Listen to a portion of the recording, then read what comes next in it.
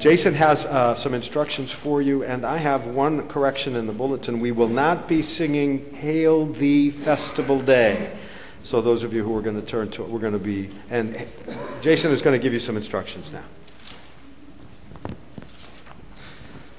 Each of you, when you came in, uh, was given a flower, a flower, the symbol of life. Also, Easter, the Sunday we celebrate Jesus' life that was not bound on earth, but his immortal life as he resurrected and now is seated at the, at the heavenly banquet next to God the Father.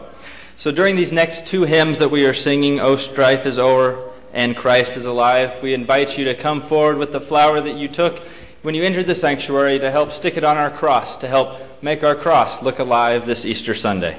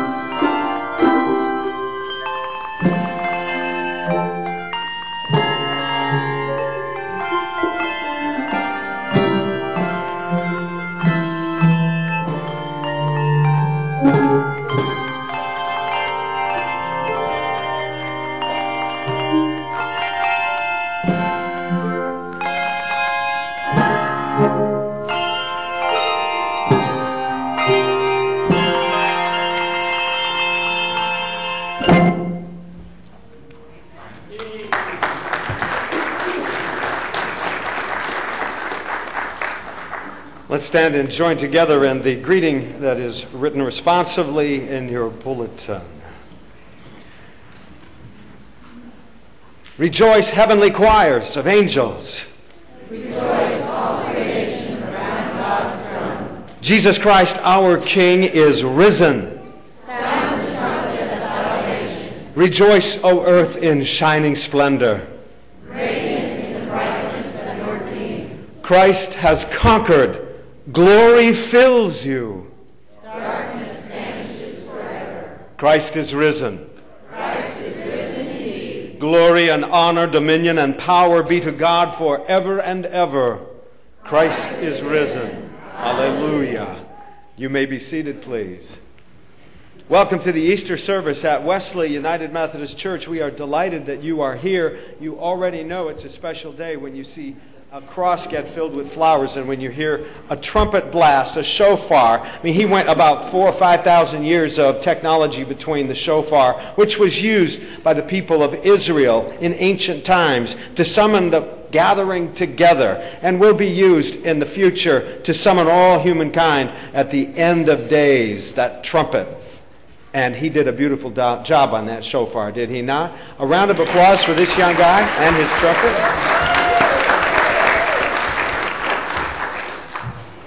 This is our time of community sharing, and there are an announcement or two, and I'm sure we're going to have some joys and concerns. So I think the announcement is right behind me. Yes. Okay, Jason. Fellow members of the Wesley Church family, can you believe that our building is over 30 years old? It's gone by fast. We've had some additions, we've had some changes, some renovations, and all has been for the glory of God. As the people of Wesley United Methodist Church, we have been entrusted to not only use the facilities, but also maintain and care for our beautiful church. Looking around, the trustees and working with the Finance Committee have come up with several immediate and long term goals that we would like to use to help for the betterment of our building and facilities. For example, our east parking lot has several spots in it that is very much in need of repair. You have undoubtedly noticed the potholes. Hopefully, your car hasn't noticed the potholes. But that east entrance is highly visible for district events, preschool drop offs and pickups, direct church activities, scouts, and youth. In the past, the parking lot has been patched and resealed and certainly is indeed for another repair this summer. Estimated cost that the trustees have put together is between $2,500 and $3,500.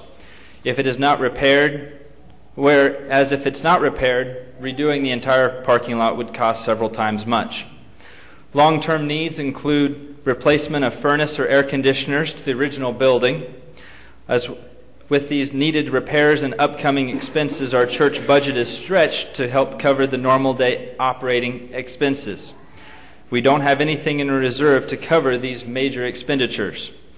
So, because of this, last year the trustees and the finance took together a special offering to help um, set aside a fund to help with this capital repair or improvements. And again, this year, our Easter special offering that we take up on Easter Sunday will be added to that to help us reach our goals so that we can do some of the work on the parking lot and set aside for any upca- up, unexpected repairs of air conditioners or furnaces that need it. So during the offering time, we'd ask you to not only remember the regular tithes that we have to Wesley Church to help with our overall day to day budget expenses, but also during the special offering, consider giving to help with these capital repairs. Thank you, Jason. Are there other announcements for the good of the family? people who are in my New Testament seminar, I want uh, to remind anyone who might not have been at the class on Thursday that we will be not having class this Thursday. We'll just back the syllabus up one, one week. Back the syllabus up one week. And a week from Thursday, we'll start in on Romans.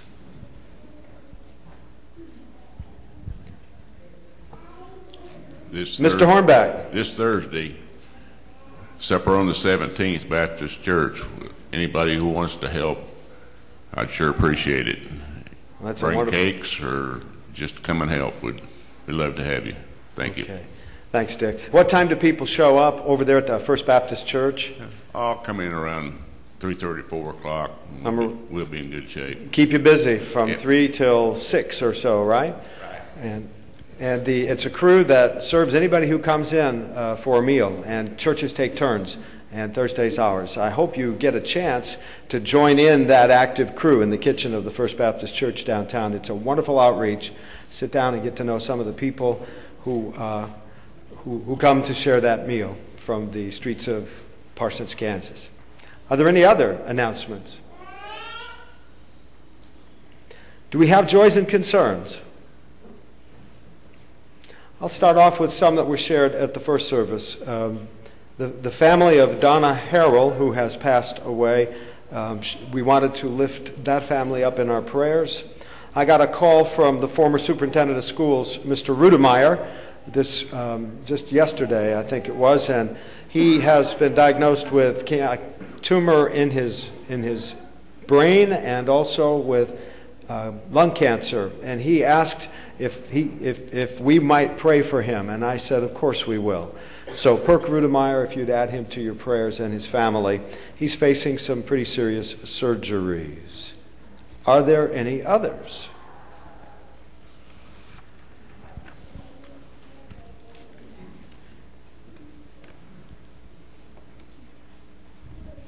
My brother-in-law, Jim Ower, has inoperable tumor in the left lung. What's his last name, Shirley?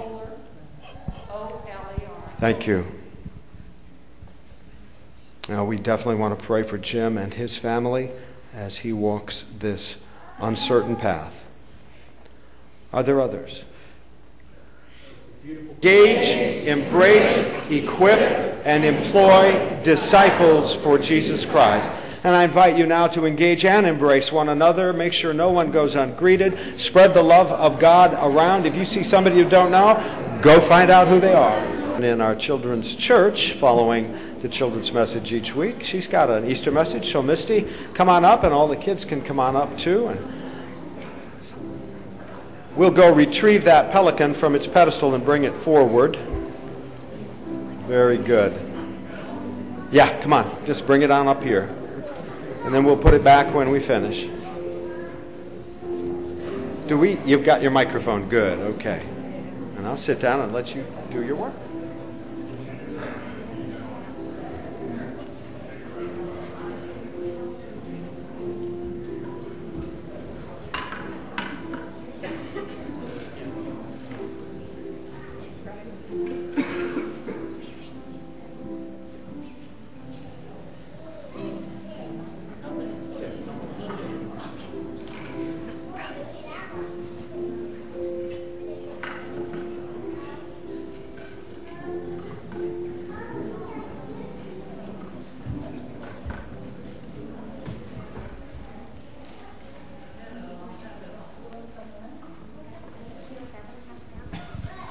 Hello, guys. A little bit nervous, so be kind. all right, all my little ones, what's today? Easter. that's right. What do you usually think of when you think of Easter? What does it mean to you? What? Family and friends. What else, guys? Celebrating the day Jesus came back. Very good. Seeing a hand down here? Dipping Easter bring Easter eggs, that's right. And you? God rising from the dead. God rising from the dead. Very good. That is the reason we celebrate Easter. It makes us think of family and friends and Easter eggs and probably candy, even though nobody said it. But we celebrate because, oh, just like We, we made um, tombs. We put marshmallows in there and um, we put dough around them and rolled them around and sent them in. Wow melted, and then the muffin was a tomb. When they opened it up, it was an empty tomb. That's right. It's an empty tomb because Jesus came out. That is, I think, the most awesome Easter activity I've heard in a long time. That is pretty cool. All right, one more. It's about celebrating the fun and sharing what you got in your eggs. That's right. you can. All right, one last one. Giant Easter eggs. Dying Easter eggs. Well, we all heard about Jesus and we heard about the eggs. So somebody said Jesus rose. No. Jesus rose from the grave on, on Sunday, right? So what did he do on Friday? He died. And why Jesus die? For our sins. Very good. That's right. So we could be reconnected with God. And when he rose, he rose with new life. Not an earthly life, but a heavenly life, the kind of life that lasts forever. And because he died and rose on, rose on Sunday, we can have that forever life too, the new life. It's not an earthly life. So when you think about eggs, you think about candy, right? Everybody already mentioned that, and sharing what's in your Easter eggs. What else do you think about when you think about eggs and Easter eggs?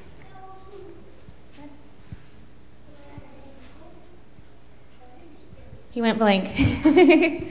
What else do you, Art, what do you think about You think about, um, you think about family and Family.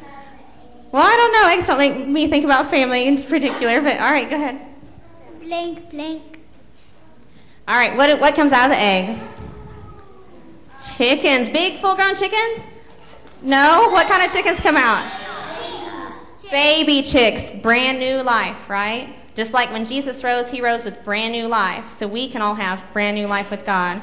So when you think, when you see Easter eggs, that's what I want you to try to remember is brand new life. Just like we talked about the, the cross being full of life with the flowers, it's what eggs stand for too. Eggs never bring anything old in this world; they bring brand new life. All right. You want to say one last thing?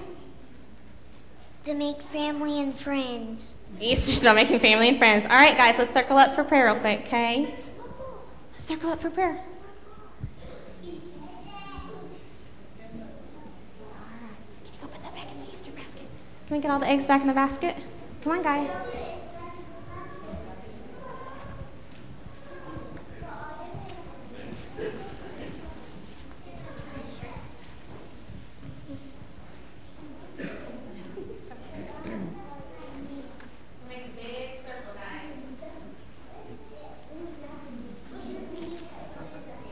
And I have a late joy. I'm very happy to see so many people and so many kids here for Easter today.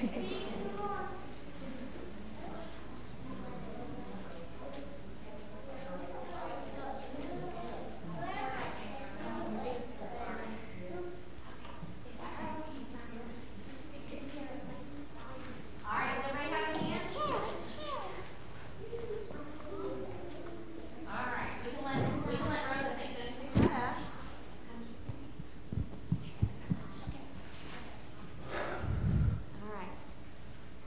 Dear Lord, Dear Lord, thank you for Easter. thank you for Easter. Thank you for giving Jesus Thank you for giving Jesus so that all of us so that all of us could live with you could live with you forever and have brand new life. Dear Lord, please let us do our best today and every day to show thanks show thanks for that new life. for that new life. In Jesus' name we pray. Amen. All right, guys, come on for children's time.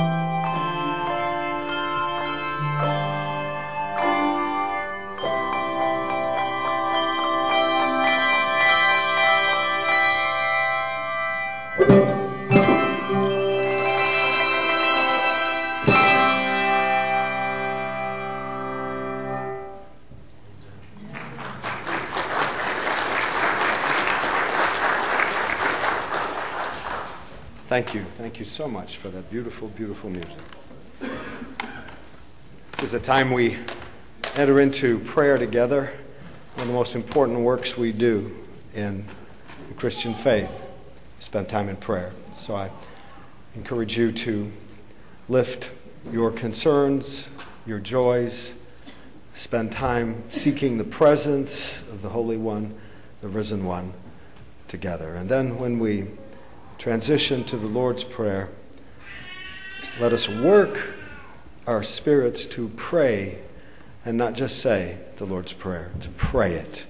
Because when we pray it, we will never, it never runs dry. It always will pr- create in us um, a discipleship. It will form us into disciples to pray and mean this prayer the Lord taught us. But let us first begin in silence.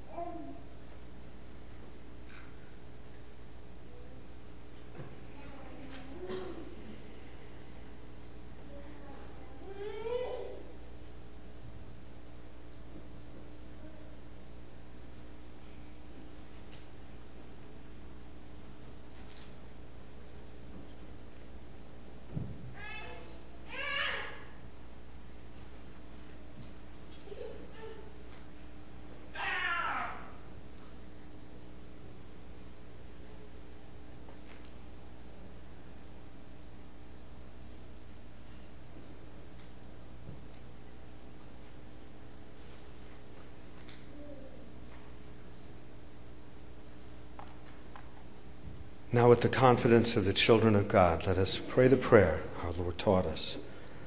Our Father, who art in heaven, hallowed be thy name.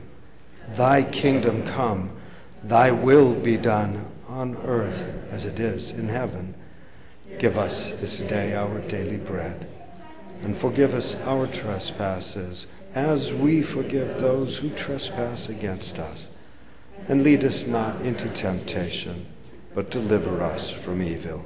For thine is the kingdom, and the power, and the glory forever. Amen. We continue our worship of God through the sharing of our gifts, our tithes, and our offerings.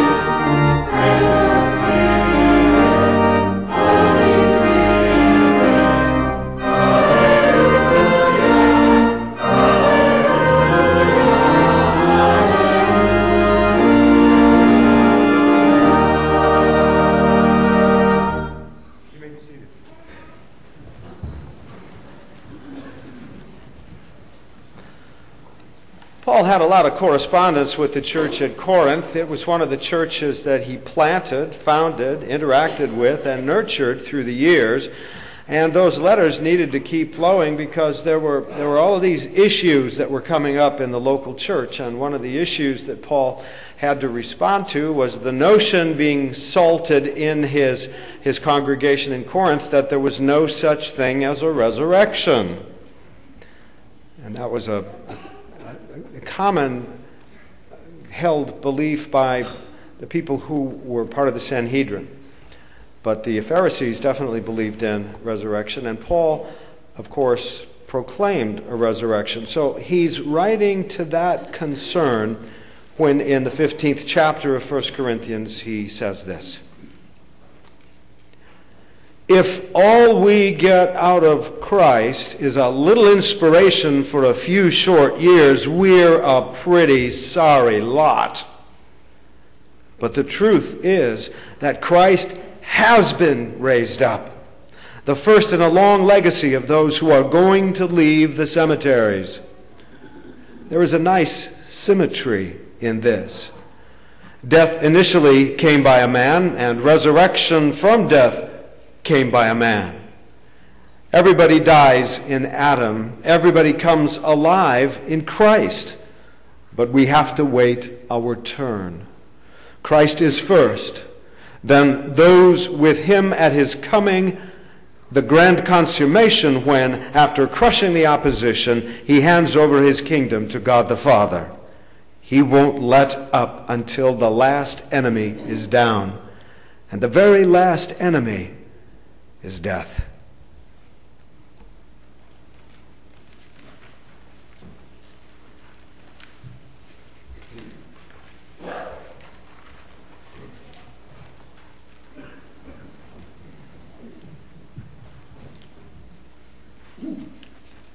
Praise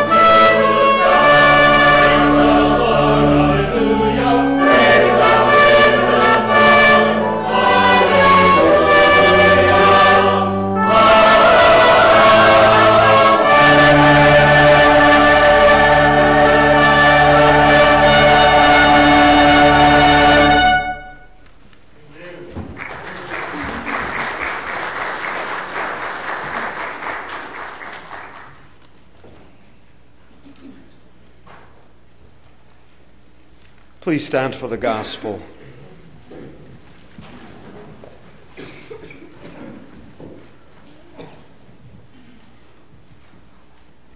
Early in the morning on the first day of the week, while it was still dark, Mary Magdalene came to the tomb and saw that the stone was moved away from the entrance.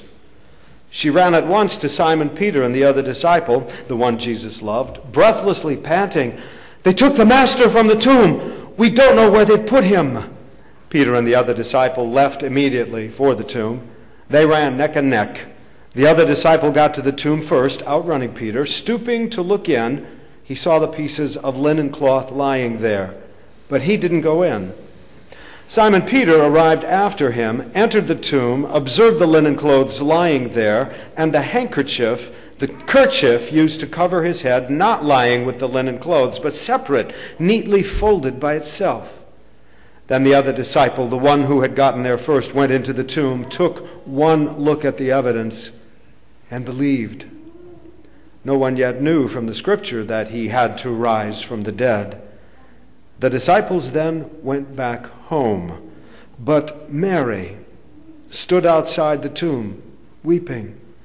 As she wept, she knelt to look into the tomb and saw two angels sitting there, dressed in white, one at the head and the other at the foot of where Jesus' body had been laid. They said to her, Woman, why do you weep? They took my master she said. And I don't know where they put him. After she said this, she turned away and saw Jesus standing there, but she didn't recognize him. Jesus spoke to her Woman, why do you weep? Who are you looking for? She, thinking that he was the gardener, said, Master, if, if you took him, tell me where you put him so I can take care. Jesus said, Mary. Turning to face him, she said in Hebrew, Rabboni, meaning teacher. Jesus said, Don't cling to me, for I have not yet ascended to the Father. But go to my brothers and tell them, I ascend to my Father and your Father, to my God and your God. Mary Magdalene went, telling the news to the disciples I saw the Master and she told them everything he said to her. This is the glorious word of God for the redeemed people of God. Thanks be to God. You may be seated, please.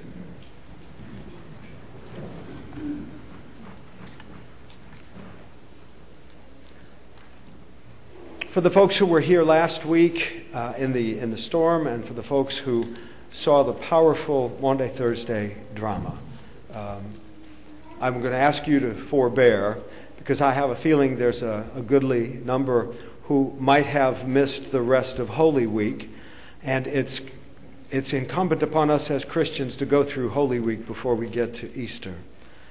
And we remember that there are dark nights between Good Friday and Sunday morning. Nights that seemed filled with despair and hopelessness for the people who had put so much stock in the young carpenter from Nazareth who had listened to him, seen wonders performed, and expected the world to be changed. And now, the one they had looked to was in the grave. Sometimes things are too deep for words, so we set them to music. And I want you to hear this story in music. When I finish the resurrection song, I'll invite you to stand while the choir, and any of you that might care to join us in Handel's Messiah comes forward and we sing the Hallelujah chorus together.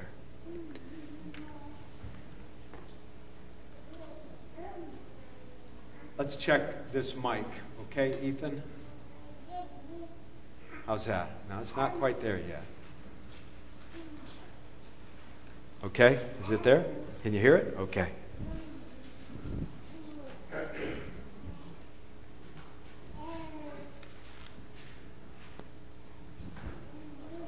So we'll start a little earlier in the week.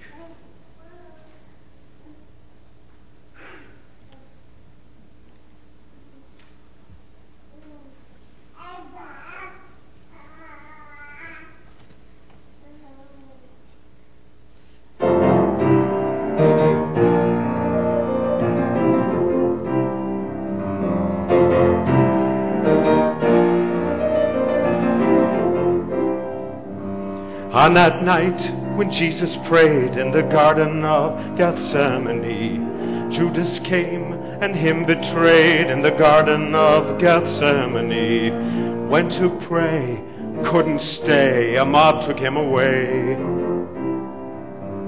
Look at this, with a kiss, the soldiers couldn't miss.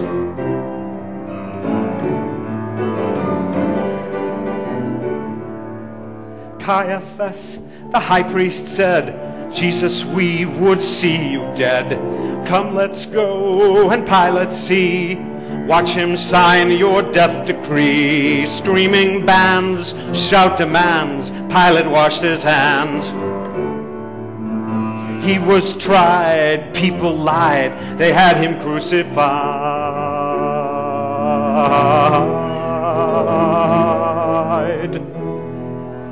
He was scourged, they slapped his face. Savior of the human race, led away his cross in tow. Little did the people know. Son of God, Son of God, we kill before we laud. This is Christ, Jesus Christ. We saw him sacrificed. As they watched, the people saw the fulfillment of God's holy law.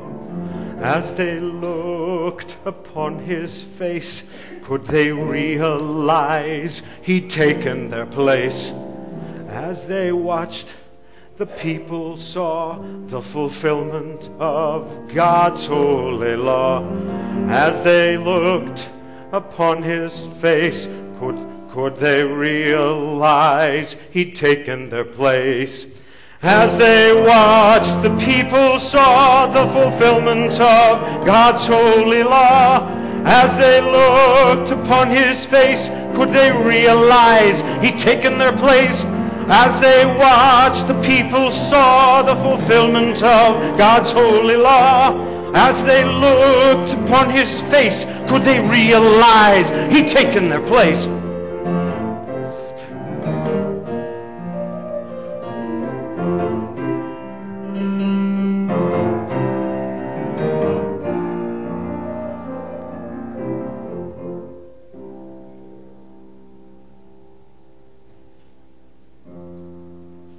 Then he died.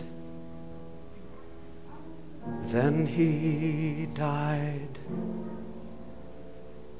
They pierced him in the side.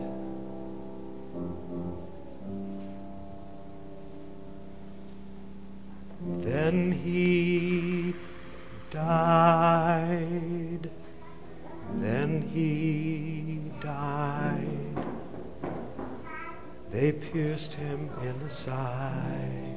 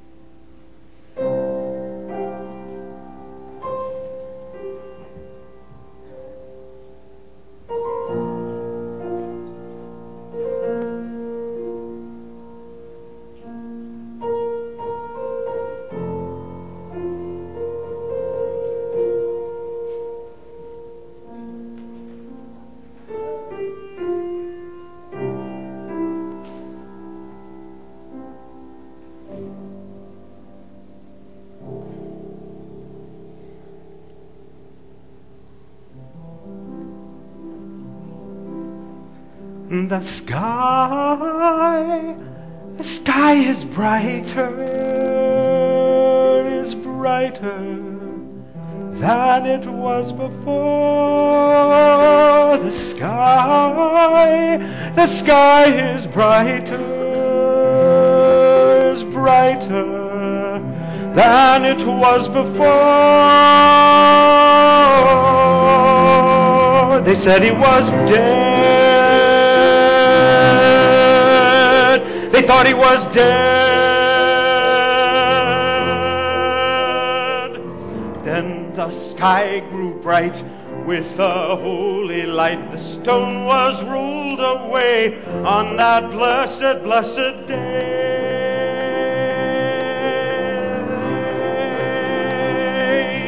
That blessed day.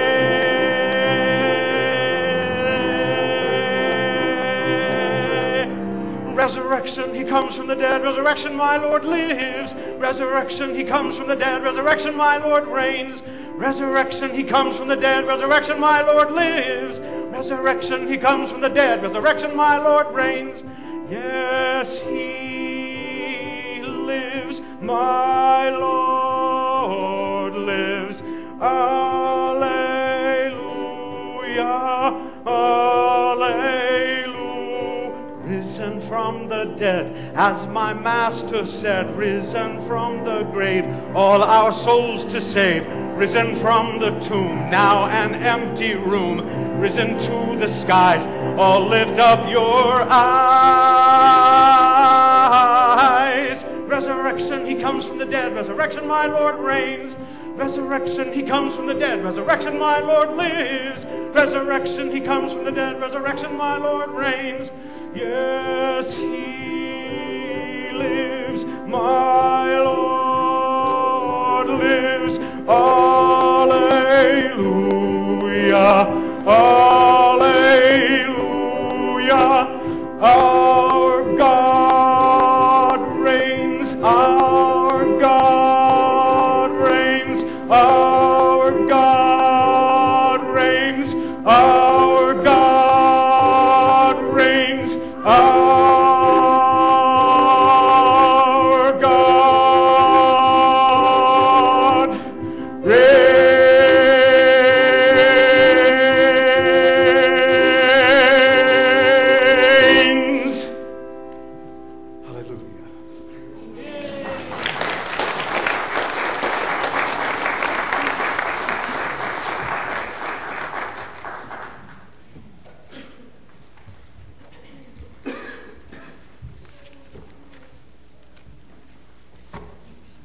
anyone to join us, sing the Holy Chorus.